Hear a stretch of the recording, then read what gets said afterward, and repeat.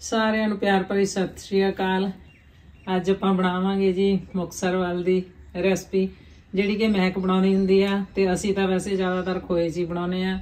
ਤੇ ਇਹ ਦੁੱਧ 'ਚ ਬਣਾਉਂਦੇ ਨੇ। ਪਹਿਲਾਂ ਵੈਸੇ ਸਾਡੇ ਇੱਧਰ ਵੀ ਦੁੱਧ 'ਚ ਬਣਾਉਂਦੇ ਹੁੰਦੇ ਸੀ, ਕਿਉਂਕਿ ਜਦੋਂ ਦੀ ਸਾਡੀ ਸੁੱਤ ਸੰਭਲੀ ਆ, ਅਸੀਂ ਜ਼ਿਆਦਾਤਰ ਖੋਏ ਦੇ ਵਿੱਚ ਹੀ ਬਣਾਉਨੇ ਆ।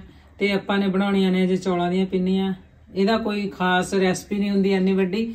ਪਰ ਬਣਾਉਣ ਦਾ ਥੋੜਾ ਜਿਹਾ ਪ੍ਰੋਸੈਸ ਹੁੰਦਾ ਤੇ ਉਹ ਵਧੀਆ ਤਰੀਕੇ ਨਾਲ ਬਣ ਜਾਵੇ ਤਾਂ ਬਹੁਤ ਸਵਾਦ ਬਣਦੀਆਂ ਨੇ ਵੈਸੇ।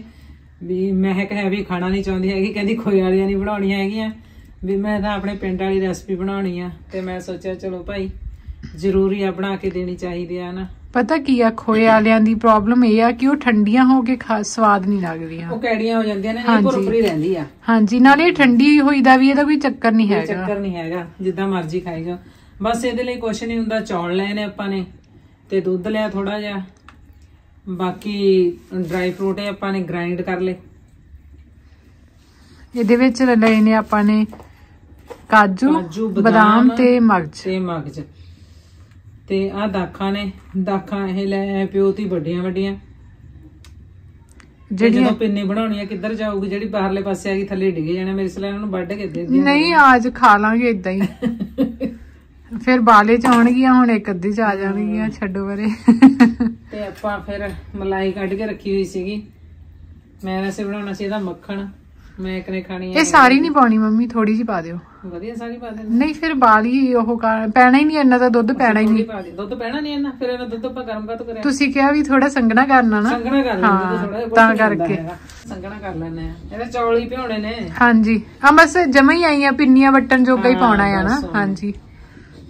ਮੈਂ ਮਲਾਈ ਵਾਲਾ ਪੀਲੀ ਮਲਾਈ ਮਾਰ ਕੇ ਜਿਵੇਂ ਉੱਥੇ ਹਜੂਰ ਸਾਹਿਬ ਕਹਿੰਦੇ ਹੁੰਦੇ ਨੇ ਪਤਾ ਨਹੀਂ ਕਿਹੜੀ ਮਲਾਈ ਮਾਰਦੇ ਨੇ ਉਹ ਤੇ ਪਤਾ ਨਹੀਂ ਹੈ ਨਾ ਕੇ ਕਿੱਥੋਂ ਮਲਾਈ ਲਿਆਉਂਦੇ ਨੇ। ਦੁੱਧ ਕਿੱਥੋਂ ਆਉਂਦਾ ਉਹਨਾਂ ਕੋਲ ਇਹਨਾਂ ਉਹੀ ਤਾਂ ਗੱਲ ਆ। ਕੁਝ ਪਾਉਂਦੇ ਹੋਣਗੇ। ਕੁਛ ਆਪਾਂ ਤਾਂ ਪਾਉਂਦੇ ਪੀਂਦੇ। ਨਹੀਂ ਵੈਸੇ ਆਪਾਂ ਬਹੁਤ ਘੱਟ ਆਪਾਂ ਪੀਤਾ। ਕਦੇ ਪੀਤਾ ਹੀ ਨਹੀਂ। ਬਹੁਤ ਘੱਟ ਇੱਕ ਅੱਧੀ ਵਾਰ ਭਾਵੇਂ ਪੀਤਾ ਹੋਵੇ। ਪੀਤਾ ਹੋਣਾ ਕਦੀ ਵਾਰੀ ਉਹ ਵੀ ਮੈਂ ਜਦੋਂ ਮੈਨੂੰ ਲੱਗਦਾ ਦਲੇਰ ਕੌਰ ਭੈਣ ਜੀ ਉਹਨਾਂ ਨਾਲ ਗਈ ਸੀ ਉਦੋਂ ਸ਼ਾਇਦ ਪੀਤਾ ਸੀਗਾ। ਮੈਂ ਤੇਰੇ ਡੈਡੀ ਪੀਂਦੇ ਹੁੰਦੇ ਸੀ ਜਦੋਂ ਆਪਾਂ ਗਏ ਸੀ। ਨਹੀਂ ਤਾਂ ਆਪਾਂ ਤਾਂ ਦੁਕਾਨ ਤੇ ਖਾਣ ਪੀਣ ਬਹੁਤ ਘੱਟ ਜਾਈਦਾ ਆ। ਜਾਈਦਾ ਹੀ ਨਹੀਂ ਮਤਲਬ ਕਿ। ਜਾਈਦਾ ਨਹੀਂ। ਚਾਹ ਚੂ ਮੇਰੇ ਵਰਗੀ ਜ਼ਰੂਰ ਕਈ ਵਾਰੀ ਪੀ ਲੈਂਦੀ ਆ ਸਿਰ ਸੁਰ ਦੁਖਣਾ ਮੈਂ ਬਸ ਜੂਸ ਜ਼ਰੂਰ ਪੀਤਾ ਆ।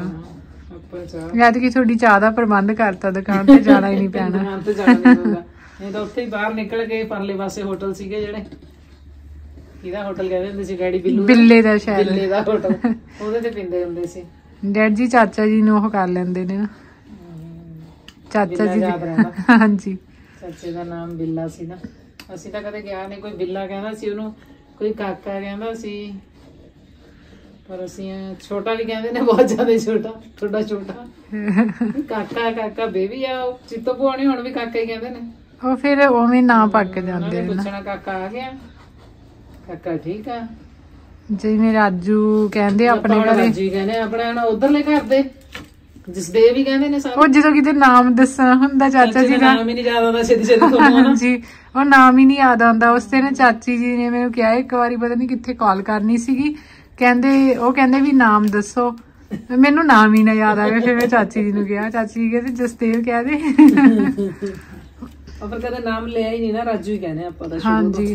ਇਹਨੂੰ ਤੁਸੀਂ ਕੜਾਹੀ ਦੇ ਵਿੱਚ ਦੁੱਧ ਨੂੰ ਜਿੰਨਾ ਕੁ ਕਾੜਨਾ ਕਾੜ ਲਓ। ਵੈਸੇ ਇਹਦਾ ਐਡਾ ਪ੍ਰੋਸੈਸ ਨਹੀਂ ਹੈਗਾ। ਦੁੱਧ ਨੂੰ ਗਰਮ ਕਰਕੇ ਮਤਲਬ ਉਬਾਲ ਕੇ ਲੈ ਲਓ ਤੁਸੀਂ। ਥੋੜੀ ਜਿਹੀ ਮਲਾਈ ਹੈਗੀ ਉਹਨੂੰ ਪਾ ਲਓ। ਜੇ ਨਹੀਂ ਹੈਗੀ ਦੁੱਧ ਨਾਲ ਕੰਮ ਵਧੀਆ ਸਰ ਜਾਣਾ। ਜੇ ਹੈਗੀ ਤਾਂ ਵੱਧ ਸਵਾਦ ਬਣਦੀਆਂ ਨੇ। ਜੇ ਹੈਗੀ ਤਾਂ ਆਪਾਂ ਪਾ ਦਿੰਦੇ ਆ ਹਾਂਜੀ। ਤੇ ਵੈਸੇ ਕੰਡੈਂਸ ਮਿਲਕ ਪਾ ਸਕਦੇ ਪਰ ਜੇ ਤੁਹਾਡੀ ਪ੍ਰੋਪਰ ਮੈਜ਼ਰਮੈਂਟ ਹੋਵੇ ਅਸੀਂ ਸੋਚਿਆ ਸਾਰੇ ਨੂੰ ਮਿੱਠਾ ਜਿਹਾ ਕਾਤੋਂ ਕਰਨਾ ਆ। ਤੇ ਲਓ ਜੀ ਦੁੱਧ ਆਪਾਂ ਨੇ ਕਾੜ ਲਿਆ। ਨੀਚੇ ਲਾਤਾ। ਕਿੱਡਾ ਸੋਹਣਾ ਮਲਾਈ ਵਾਲਾ ਦੁੱਧ ਆ ਮੈਂ ਕਿਹਾ ਤੇ ਇਹ ਕੜਾਹੀ ਵਾਲਾ ਦੁੱਧ ਬਣ ਗਿਆ।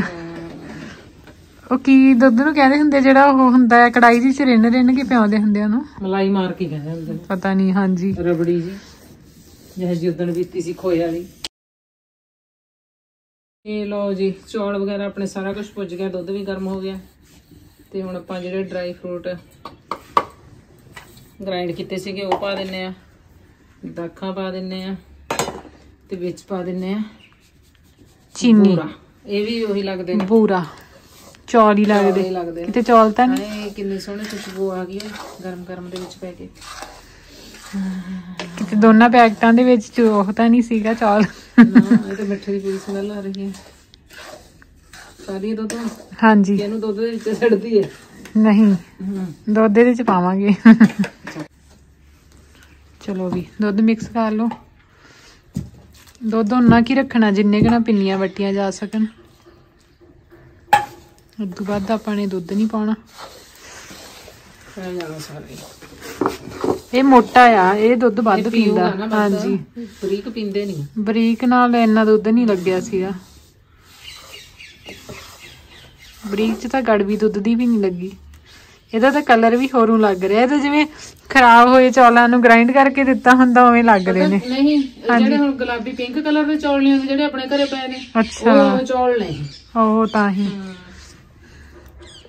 ਇਹਦਾ ਪੀ ਜੂਗਾ ਸਾਰਾ। ਮੈਂ ਸਾਰਾ ਪੀ ਲੈਣਾ ਤਾਂ ਹੀ ਮੈਂ ਕਹਿੰਦੀ ਬਹੁਤ ਚੌਲ ਮੋਟਾ। ਮੋੜਾਈ ਜੇ ਮਾਰਦੇ ਆ। ਬਹੁਤ ਮੋਟੇ ਚੌਲ ਨੇ। ਨਹੀਂ ਚੌਲ ਕੜਾਹੀ ਚ ਕਾਹਤੋਂ ਮਾਰਨੇ? ਜੇ ਆਪਾਂ ਨੂੰ ਹੋਰ ਕਰਨਾ ਪੈ ਗਿਆ ਫੇਰ ਕੀ ਕਰਾਂਗੇ? ਨੋ ਵੀ ਆਪਣੇ ਹਿਸਾਬ ਤੇ ਕਰ ਲਿਓ ਜੇ ਤੁਹਾਡਾ ਬਰੀਕ ਆਟਾ ਹੋਇਆ ਉਹਦੇ ਚ ਦੁੱਧ ਘੱਟ ਲੱਗੂਗਾ। ਇਹਦੇ ਚ ਵੱਧ ਪੈਂਦਾ। ਸਿੱਟ ਦੋ ਸਾਰਾ ਹੀ ਪਰੇ। ਫਿਰ ਆਪਾਂ ਛੇਤੀ ਛੇਤੀ ਵੱਟ ਦਿੰਨੇ ਆ। ਤਾਂ ਹੁਣ ਪਿੰਨੀਆਂ ਵੱਟ ਲਈਏ ਫਿਰ ਮਿਲਦੇ ਆ ਕਿਉਂਕਿ ਇਹ ਠੰਡਾ ਹੋ ਗਿਆ ਤਾਂ ਔਖਾ ਹੋ ਜੂ ਕੰਮ ਤੇ ਕਾਫੀ ਮਿਹਨਤ ਤੋਂ ਬਾਅਦ ਕੋਈ ਮਿਹਨਤ ਨਹੀਂ ਲੱਗੀ ਹੈਗੀ।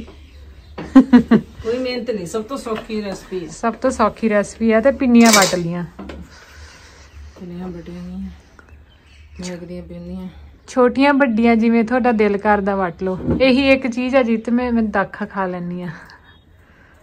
ਪਤਾ ਨਹੀਂ ਤੈਨੂੰ ਕੀ ਵਧੀਆ ਲੱਗਦੀਆਂ ਨੇ। ਕਿ ਕਮਲ ਭੂਆ ਜੀ ਨੂੰ ਸਵਾਦ ਲੱਗੀਆਂ ਸੀ ਅਸੀਂ ਚੌਲ ਖਾ ਕੇ ਮਗਰੋਂ ਚੀਨੀ ਦਾ ਵਰਕਾ ਮਾਰ ਕੇ ਦੁੱਧ ਪੀ ਲਓ। ਮੈਂ ਭੂਆ ਜੀ ਨੂੰ ਦਿੱਤੀਆਂ ਨਹੀਂ ਕਿਉਂਕਿ ਸਿੰਘ ਸਾਹਿਬ ਕਹਿੰਦੇ ਕਿ ਸਾਡੇ ਨਹੀਂ ਕੋਈ ਖਾਂਦਾ ਹੈਗਾ ਕਹਿੰਦੇ ਤੁਹਾਡਾ ਏਰੀਆ ਹੀ ਖਾਂਦਾ। ਨਹੀਂ ਦੀਦੀ ਬਣਾਉਂਦੇ ਹੁੰਦੇ ਸੀ ਕਮਲ।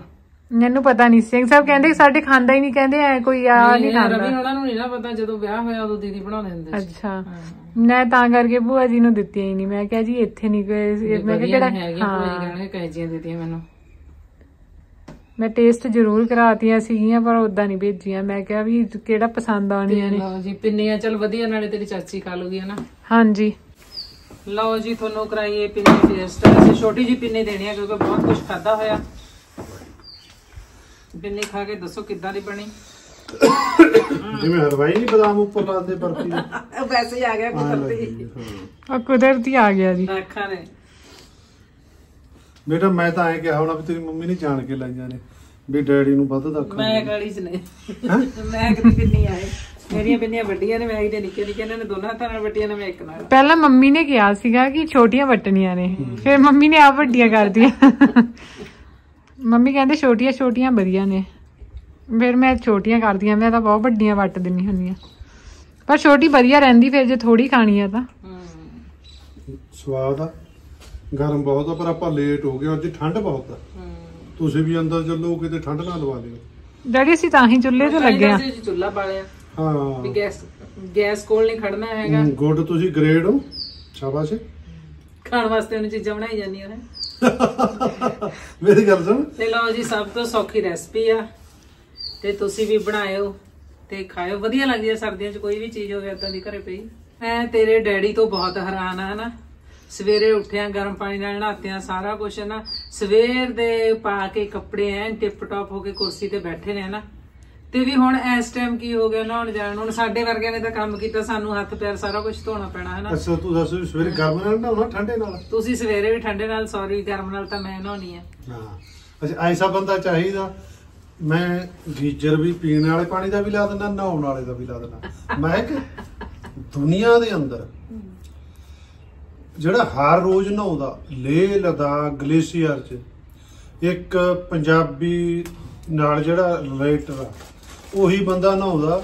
ਨਹੀਂ ਕਈ ਸਟੇਟਾਂ ਦੇ ਤਾਂ 10-10 ਦਿਨ ਨਹੀਂ ਨਹਾਉਂਦੇ। ਆਪਣੇ ਘਰੇ ਵੀ ਹੈਗੇ ਨੇ। ਸਾਨੂੰ ਰਜਿਸਟਰ ਲਾਉਣਾ ਸਾਨੂੰ ਰਜਿਸਟਰ ਲਾਉਣਾ ਪੈਂਦਾ।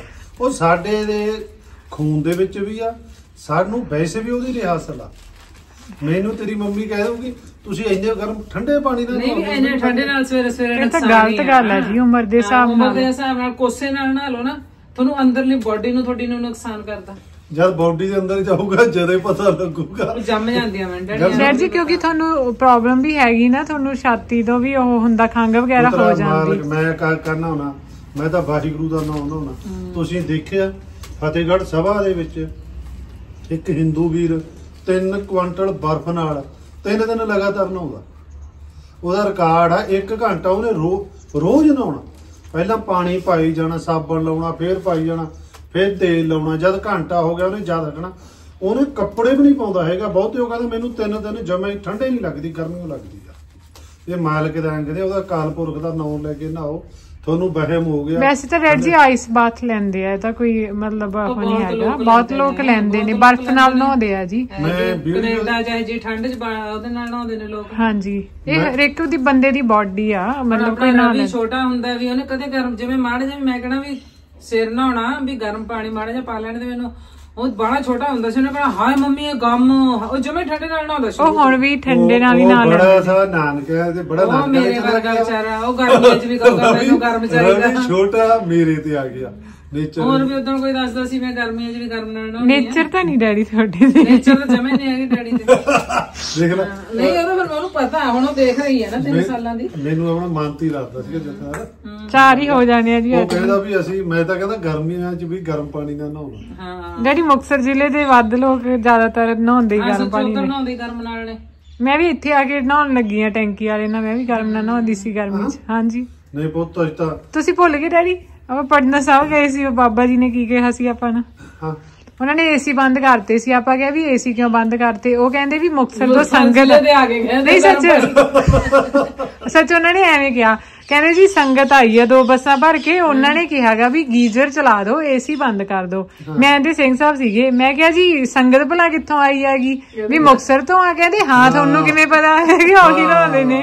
ਪਤਾ ਲੱਗ ਜਾਂਦਾ ਬੋਲੀ ਦਾ ਡਰੈਸ ਦਾ ਹੁਣ ਤੁਸੀਂ ਟ੍ਰੇਨ ਜਾਓ ਤੁਹਾਨੂੰ ਆਟੋਮੈਟਿਕ ਪਤਾ ਲੱਗ ਜੂ ਤੁਹਾਨੂੰ ਉਹ ਪਛਾਣ ਦੇਣਗੇ। ਵੀ ਤੁਸੀਂ ਲੁਧਿਆਣੇ ਏਰੀਆ ਦਾ ਪਤਾ ਲੱਗ ਜਾਂਦਾ ਭਾਸ਼ਾ ਦਾ ਪਤਾ ਲੱਗ ਜਾਂਦਾ। ਅੰਮ੍ਰਿਤਸਰ ਦੀ ਬੋਲੀ ਤੋਂ ਬੋਲੀ ਦਾ ਕੁਦਰਤ ਖਾਸ ਕਰਕੇ ਹਾਂਜੀ ਮਾਝੇ ਤੇ ਮਾਲਵੇ ਦੀ ਤਾਂ ਜ਼ਿਆਦਾ ਪਤਾ ਜ਼ਿਆਦਾ ਲੱਗਦਾ ਪਤਾ ਲੱਗ ਜਾਂਦਾ ਹਾਂ, ਹਾਂ। ਮੈਂ 에어ਪੋਰਟ ਤੇ ਗਿਆ ਉੱਥੇ ਮੈਨੂੰ ਉਹ ਮਿਲ ਗਏ। ਮਾਝੇ ਵਾਲੇ? ਅੱਛਾ ਜੀ। ਜਦ ਮੈਂ ਉਹਨਾਂ ਨੂੰ ਜੂਲੇ ਜੂਲੇ ਕਰੇ ਤੇਰੀ ਮੰਮੀ ਮੇਰੀ ਫੜ ਕੇ ਕਹਿੰਦੀ ਕੀ ਕਹਿੰਦੀ ਤਾਂ ਮੈਂ ਕਿਹਾ ਵੀ ਜਿਵੇਂ ਆਪਾਂ ਨਹੀਂ ਸੱਸ ਮੈਂ ਦੀ ਕਹਿੰਦੀ ਹੁਣ ਆਪਾਂ ਨੂੰ ਪਤਾ ਨਹੀਂ ਉਹ ਵੈਸੇ ਉਹ ਗਾਣਾ ਸੁਣਦੇ ਸੀ ਝੂਲੇ ਲਾਲ ਬਾਹ ਕਲੰਦਰ ਮਸਤ ਕਲੰਦਰ ਨਾ। ਡੈਡੀ ਉਹਨਾਂ ਨੂੰ ਕਹਿੰਦੇ ਝੂਲੇ ਝੂਲੇ ਉਹ ਵੀ ਐ ਕਰਕੇ ਗਏ ਹਾਂ। ਹਾਂ। ਉਹ ਸਤਿ ਸ੍ਰੀ ਅਕਾਲ ਆਪਣਾ ਜਿਵੇਂ ਬੁਲਾਉਣੇ ਆ ਉਹ ਉਸ ਤਰੀਕੇ ਨਾਲ। ਉਹ ਲੇਹ ਲਦਾਖ ਦੇ ਵਿੱਚ ਉਹ ਬਹੁਤਾ ਸਪੀਕਰ ਨਹੀਂ ਲਾਉਂਦੇ। ਉਹਨਾਂ ਦੇ ਕਹਿੰਦਾ ਜਿਹੜੇ ਵੀ ਉਹਨਾਂ ਦੇ ਗ੍ਰੰਥ ਦੇ ਵਿੱਚੋਂ ਜਾਂ ਕੋਈ ਸ਼ਬਦ ਲੈ ਜਾਂਦੇ ਨੇ ਬੁੱਧ ਧਰਮ ਵਾਲਿਆਂ ਦੇ ਉਹਨਾਂ ਨੇ ਉਹ ਲਿਖ ਕੇ ਲਾ ਦੇਣੇ ਨੇ। ਉਹ ਜਦ ਹਵਾ ਚੱਲਦੀ ਉਹ ਕਹਿੰਦੇ ਜਿਹੜੀ ਹਵਾ ਵਿੱਚ ਲੱਗਦੀ ਆ ਸ਼ੁੱਧ ਹੋ ਜਾਂਦੀ ਆ। ਆਪੋ ਆਪਣੇ ਧਰਮ ਦਾ। ਆਪੋ ਆਪਣੇ ਧਰਮ ਦਾ। ਹੁਣ ਮੈਂ ਤਾਂ 29 ਸਟੇਟਾਂ ਦੇ ਵਿੱਚ ਨੌਕਰੀ ਕਰੀ ਆ 29 ਸਟੇਟਾਂ ਦੇ ਲੋਕਾਂ ਨਾਲ ਮੈਨੂੰ ਸਾਰੇ ਬਾਰੇ ਪਤਾ। ਮਹਾਰਾਸ਼ਟਰ ਬਾਰੇ, ਆਰਤੀ ਬਾਰੇ ਪਤਾ, ਮੁਸਲਮਾਨਾਂ, ਭਰਾਵਾਂ ਬਾਰੇ ਪਤਾ, ਵੀ ਕਿਵੇਂ ਨਮਾਜ਼ ਪੜ੍ਹਨੀ ਆ ਕਿੰਨੇ ਵਜੇ ਪੜ੍ਹਨੀ ਆ। ਜਦ ਅਸੀਂ ਐਕਸਰਸਾਈਜ਼ ਕਰਦੇ ਹੁੰਦੇ ਸੀ, ਇਹ ਦਿਨਾਂ ਦੇ ਵਿੱਚ ਸਾਡੀ 80% ਫੌਜ ਤਾਂ ਬਾਰਕਾਂ ਛੱਡ ਕੇ ਰਸਤਾਨ 'ਚ ਐਕਸਰਸਾਈਜ਼ਾਂ ਕਰਦੀ ਫਿਰਦੀ ਆ, ਕਿਉਂਕਿ ਸਾਨੂੰ ਪਕਾਉਣਾ ਵੀ ਲੜਾਈ ਦੇ ਵਿੱਚ ਕਿਤੇ ਇਹ ਠੰਡ ਤੋਂ। ਭੱਜ ਨਾ ਜਾਣਾ। ਠੰਡ ਤੋਂ ਭੱਜ ਨਾ ਜਾਣਾ। ਮੈਂ ਉਧਰ ਗਰਮੀ ਚ ਇੰਨੀ ਗਰਮੀ ਹੁੰਦੀ ਆ ਉਦੋਂ ਪਕਾਉਂਦੇ ਨੇ। ਮੈਂ ਆਪਣੇ ਵੀਰਾਂ ਨੂੰ ਸਲੂਟ ਮਾਰਦਾ। ਉਹਨਾਂ ਨੇ ਪਾਣੀ ਦੀ ਬਾਲਟੀ ਭਰ ਕੇ ਆਪਣੀ ਮੁੱਲ ਲੈ ਕੇ ਲੋਹੇ ਦੀ ਕੱਪੜੇ ਨਾਲ ਬੰਨ ਦੇਣਾ। ਤੜਕੇ ਉਹ 3 ਵਜੇ 4 ਵਜੇ ਇਸ਼ਨਾਨ ਕਰਨਾ। ਅਸੀਂ ਤੜਕਿਓਂ ਤਾਂ ਨਹੀਂ ਕਰਦੇ ਜੀ, ਅਸੀਂ ਤਾਂ ਦਿਨੇ ਕਰ ਲੈਂਦੇ ਸੀਗੇ। ਮੈਂ ਜਦੋਂ ਉਹਨਾਂ ਨੇ ਨਹਾਉਣਾ ਅਸੀਂ ਆ- ਉਹ ਰਜਾਈ ਕੰਬਲ ਚ ਪਏ ਰਜਾਈ ਚ ਆਏ ਆਏ ਕਰਨਾ। ਉਹ ਹੋ ਹੋ ਬੜੀ ਠੰਡਾ ਬੜੀ ਠੰਡਾ। ਹੁਣ ਸਾਜਰੀ ਤੜਕੇ ਸਾਰੇ ਠਾਲਦੇ ਫਿਰ ਜਾਂਦੇ ਦਰਸ਼ਨ ਨਾਲ ਲਾ ਫਲਾਣੇ ਨਾਲ ਵੀ ਆਪੇ ਨਾਲ ਲੈਣਾ ਸਭ ਨੇ ਦਰਸ਼ਨ ਰੋਜ਼ ਉੱਠ ਕੇ ਪੁੱਛਣਾ ਦਰਸ਼ਨ ਗੀਜਰ ਲਾ ਦਾ ਵੀ ਜਦ ਤੁਸੀਂ ਉੱਠ ਕੇ ਮੈਂ ਜਾਗਦੀ ਪਈ ਆ ਲਾ ਦੋ ਬਸ ਮੈਂ ਜਦੇ ਮੈਂ ਨਾ ਲੈਣਾ। ਚਲੋ ਜੀ ਤੇ ਆਪਣੀਆਂ ਪਿੰਨੀਆਂ ਤਿਆਰ ਨੇ। ਹੁਣ ਖਾਵਾਂਗੇ ਇਹਨਾਂ ਨੇ ਤਾਂ ਖਾ ਕੇ ਦੇਖ ਲਈ ਤੇ ਅਸੀਂ ਖਾਵਾਂਗੇ ਚਾਚੀ ਨੂੰ ਖਿਲਾਵਾਂਗੇ ਤੇ ਮਿਲਾਂਗੇ ਆਪਾਂ ਕਿਸੇ ਨਵੀਂ ਵੀਡੀਓ ਦੇ ਨਾਲ ਤੇ ਸਾਰਿਆਂ ਨੂੰ ਪਿਆਰ ਭਰੀ ਸਤਿ ਸ੍ਰੀ ਅਕਾਲ